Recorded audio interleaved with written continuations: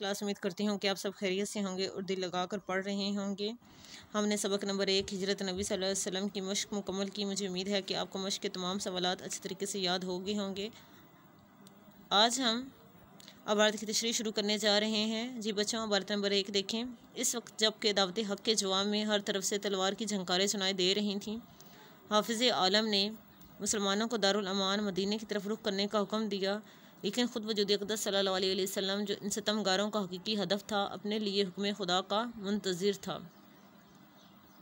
सबसे पहले बच्चों अपने हवाले मतन की हेडिंग देनी है। उसमें तीन चीज़ें होंगी, सबक का मुसनफ़ का नाम और माखज़।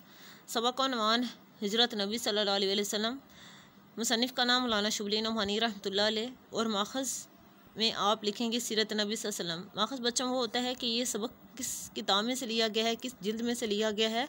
तो इस सबक के आखिर में देखें। आखिर में हमारे पास ये माखज़ है बच्चों, ये देखें आप सीरत नबी वसल्लम। इसे आप माखज़ में लिखेंगे।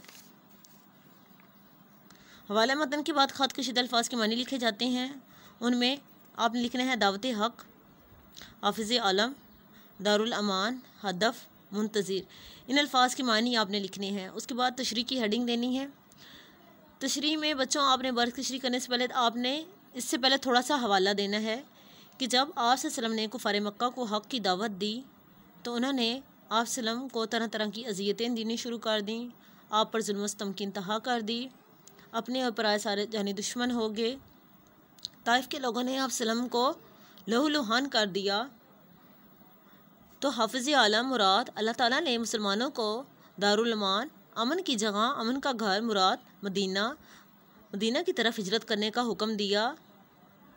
लेकिन ख़ुद वजूद अकदस अलैहि वसल्लम, जो इन सतामगारों का हकीकी हदफ था आसलम के अक्सर साथी, मुराद, साहबा कराम, वो भी अल्लाह के हुक्म से मदीने की तरफ़ हिजरत कर चुके थे। लेकिन आप हुक्म खुदा का मुंतज़र था। आप सल्लम अल्लाह ताला के हुक्म का इंतज़ार कर रहे थे। कि आप अल्लाह ताला का हुक्म आए तो आप मदीने की तरफ़ हिजरत करें। यह है बच्चों तशरी आपने इस तशरी की प्रैक्टिस करनी है। रफ़ रजिस्टर्स के ऊपर, नेट कॉपीज़ के ऊपर आपने नहीं लिखना। रफ़ रजिस्टर के ऊपर ही प्रैक्टिस करनी है। यह है आज आपकी डायरी। अबारत नंबर एक। इसकी तशरी करनी है आपने। हमेशा सच बोलना चाहिए बच्चों। झूठ से इज्तनाब करें, झूठ बोलना हराम है। पाँच वक्त की नमाज़ की पाबंदी करें, अपने वक्त को ज़ाया ना करें और अपनी फ़ीस हर माह की दस तारीख को लाजमन जमा करवा दिया करें। अल्लाह हाफिज़।